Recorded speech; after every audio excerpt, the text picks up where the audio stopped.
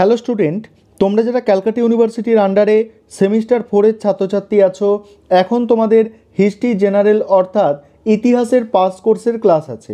আজকের ক্লাসে তোমাদের দশ নম্বরের একটি গুরুত্বপূর্ণ বড় প্রশ্নের উত্তর নিয়ে আলোচনা করব। প্রশ্নটা কি আছে দেখো? প্রশ্নটা আছে লর্ড কর্নওয়ালিসের ভূমি রাজস্ব নীতি আলোচনা করো বা প্রশ্নটা এভাবেও আসতে পারে, চিরস্থায়ী বন্দোবস্ত সম্পর্কে আলোচনা করো। প্রথমে তোমাদের ভূমিকা লিখতে হবে। সেখানে কি লিখবে একটু দেখে নাও। ভারতে সাম্রাজ্য বিস্তারের পর, ভারতে সাম্রাজ্য বিস্তারের পর ইস্ট ইন্ডিয়া কোম্পানি ভূমি রাজস্ব ব্যবস্থা নিয়ে পরীক্ষা নিরীক্ষা চালাতে থাকে। লর্ড ক্লাইভ দ্বৈত শাসন ব্যবস্থা চালু করলে সারা বাংলা জুড়ে দুর্ভিক্ষ দেখা দেয়। ফলে সতেরোশো বাহাত্তর সালে দ্বৈত শাসন ব্যবস্থার অবসান ঘটানো হয় এবং ভূমি রাজস্ব ব্যবস্থা থেকে স্থায়ী আয় সুনিশ্চিত করতে লর্ড কর্নওয়ালিস সতেরোশো তিরানব্বই সালে বাইশে মার্চ চিরস্থায়ী বন্দোবস্ত প্রবর্তন করেন। এবার দেখো, চিরস্থায়ী বন্দোবস্তের শর্তাবলী। চিরস্থায়ী বন্দোবস্তের যে সমস্ত শর্তাবলীগুলি আছে, সেগুলি হলো, প্রথমত কি বলা হচ্ছে দেখো, চিরস্থায়ী বন্দোবস্ত অনুসারে জমিদাররা স্থায়ীভাবে জমির মালিকানা ভোগ করার অধিকার পায়। দ্বিতীয়ত কি, নির্দিষ্ট দিনে সূর্য অস্ত যাওয়ার আগে জমিদারকে খাজনা প্রদান করতে হতো, তা না হলে তার জমিদারি বাজেয়াপ্ত করা হতো। একে বলা হতো সূর্যাস্ত আইন। তৃতীয়ত, কোনো অবস্থাতেই রাজস্ব মুকুব বা পরিবর্তন করা হবে না। চতুর্থত, জমিদারদের দ্বারা আদায় করা রাজস্বের দশ ভাগের সাত ভাগ সরাসরি কোষাগারে জমা দিতে হতো। চিরস্থায়ী বন্দোবস্ত প্রথম পরীক্ষামূলকভাবে বাংলা বিহার ও উড়িষ্যায় চালু করা হয়। ধীরে ধীরে অন্যান্য অঞ্চলে ছড়িয়ে দেওয়া হয়। কোম্পানির একটি আয় সূত্র গড়ে উঠবে এই আশায়। বলছে, কোম্পানির একটি আয় সূত্র গড়ে উঠবে এই আশায়। এবারে চিরস্থায়ী বন্দোবস্তের ফলাফল নিয়ে আলোচনা হবে।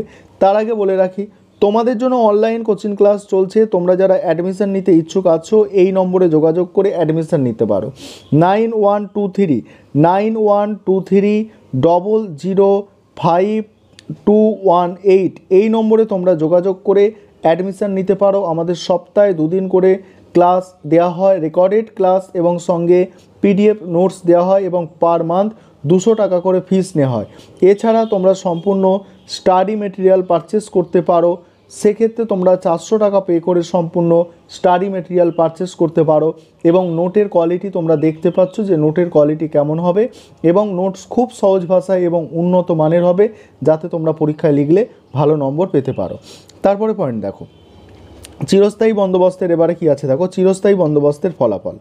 তবে চিরস্থায়ী বন্দোবস্তের ফলাফল সম্পর্কে ঐতিহাসিকরা পরস্পর বিরোধী মত প্রকাশ করেছেন। মার্সম্যান এটিকে একটি সাহসী ও বিচক্ষণ পদক্ষেপ বলে বর্ণনা করেছেন। অন্যদিকে হোমস অন্যদিকে হোমস এই ব্যবস্থাকে একটি দুর্ভাগ্যজনক ভ্রান্তি বলে বর্ণনা করেছেন। এই ফলাফলকে দুদিক থেকে আলোচনা করা যেতে পারে।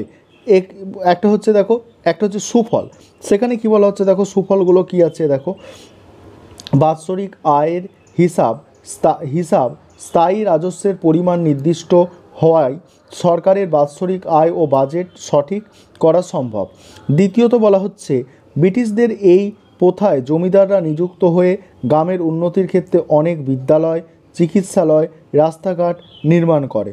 তৃতীয়ত আছে, জমির ওপর জমিদারদের শর্ত দান করাই, দান করায় তার তারা কৃষি ব্যবস্থায় বেশি করে মূলধন বিনিয়োগ করে কৃষির উন্নতি ঘটায়। চতুর্থত এই ব্যবস্থার ফলে জমিদার শ্রেণির অস্তিত্ব ব্রিটিশদের অনুগত ও নির্ভরশীল হয়ে ওঠে। চিরস্থায়ী বন্দোবস্তের এবারে আছে দেখো কুফল। সেখানে কি বলা হচ্ছে? প্রথমত, এই ব্যবস্থায় জমি জরিপ না করে রাজস্ব ধার্য করা হতো, ফলে অধিকাংশ ক্ষেত্রে রাজস্বের হার বেশি হয়ে যায়, বেশি হয়ে যায়। দ্বিতীয়ত কি বলা হচ্ছে? দেখো, এই বন্দোবস্তের চুক্তি হয়েছিল কোম্পানির সাথে জমিদারদের, এখানে কৃষকদের স্বার্থ রক্ষার কোনো ব্যবস্থা করা হয়নি। ফলে কৃষকদের ভাগ্য সম্পূর্ণ নির্ভর করত জমিদারদের ইচ্ছার ওপর। তৃতীয়ত, চিরস্থায়ী বন্দোবস্তে জমিদারদের আয় বৃদ্ধি পেলেও কোম্পানির আয় সেভাবে বৃদ্ধি পায়নি, ফলে কোম্পানি ভূমি রাজস্ব নিয়ে নতুন করে চিন্তাভাবনা করতে থাকে। তারপর দেখো চতুর্থ কী আছে? চিরস্থায়ী বন্দোবস্তের সব থেকে গুরুত্বপূর্ণ ব্যবস্থা ছিল সূর্যাস্ত আইন, অর্থাৎ নির্দিষ্ট দিনে সূর্য অস্ত যাওয়ার আগে জমিদারকে ইংরেজদের কাছে রাজস্ব প্রদান করতে হতো আর এই সময় মতো রাজস্ব জমা দিতে না পারলে জমিদারি বাজেয়াপ্ত করা হতো।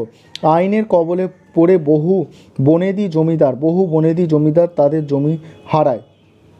পঞ্চমত, সতেরোশো নিরানব্বই সালে রেগুলেশন আইন জারি করে চিরস্থায়ী বন্দোবস্তের মাধ্যমে জমিদারদের জমিদারদের জমিদারদের কৃষকদের কৃষককে জমি থেকে উৎখাত করার অধিকার দেওয়া হয়। জমিদারকে কি দেওয়া হয়? জমিদারদের, কৃষকদেরকে জমি থেকে উৎখাত করার অধিকার দেওয়া হয়, ফলে খুব সামান্য কারণে জমিদাররা কৃষককে তার জমি থেকে উৎখাত করতে পারত। এবার আছে উপসংহার, দেখো।